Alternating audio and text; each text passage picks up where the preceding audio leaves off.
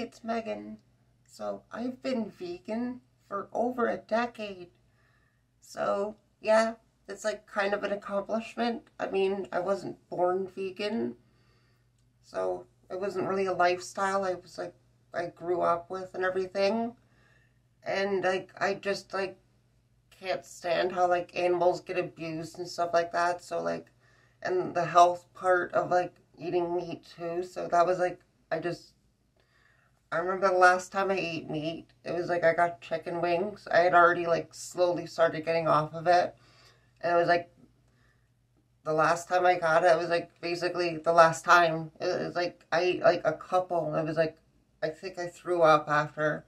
And I, I just got the feeling like I can't eat this anymore. It's not settling in my stomach.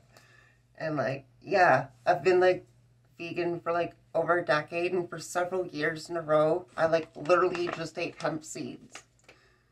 So like nothing special. Like literally I ate hemp seeds and apples for just a year. And like back then there wasn't like a whole lot of variety. Like today there's like Beyond Burgers and like all sorts of like other plant-based burgers and options like vegan chicken, turkey, like you name it there's like vegan versions of it now. Like having vegan bacon and like it's like awesome because like they taste really good. And some of the vegan wings, like some of them are kind of expensive, but like they're so good. Like once in a while I'll pay like ten dollars and get like it would be enough for two people, but like I eat the whole pack. yeah.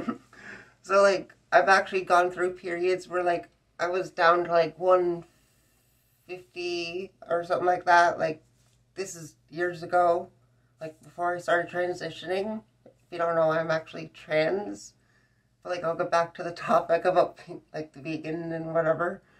But like back then I was like 145 I think is the absolute lowest actually to be honest.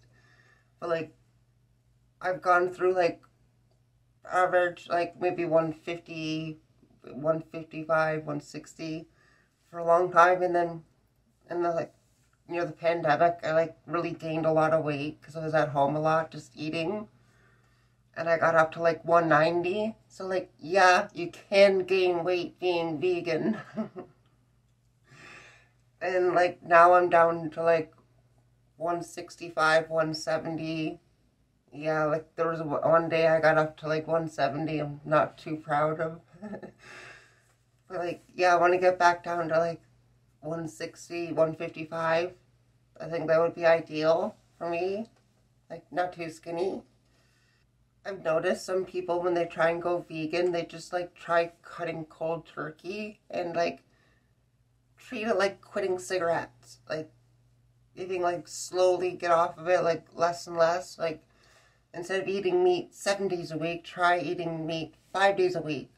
And then go down to three days a week. Then go down to once. And then none at all.